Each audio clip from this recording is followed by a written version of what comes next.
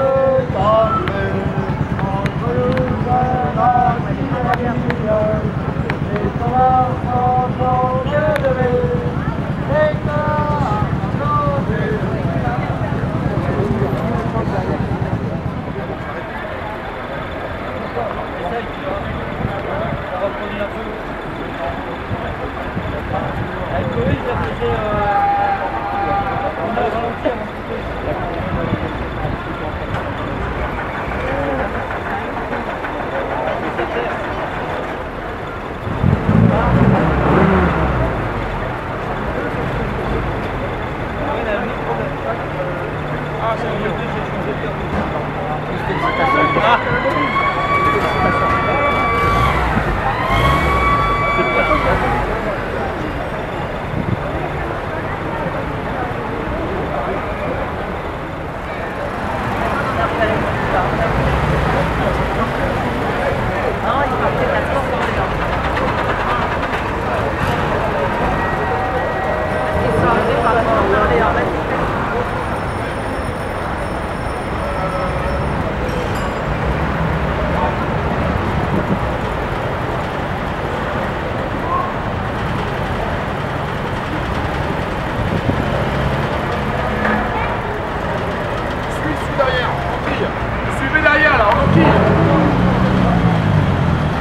ça, roule pas comme les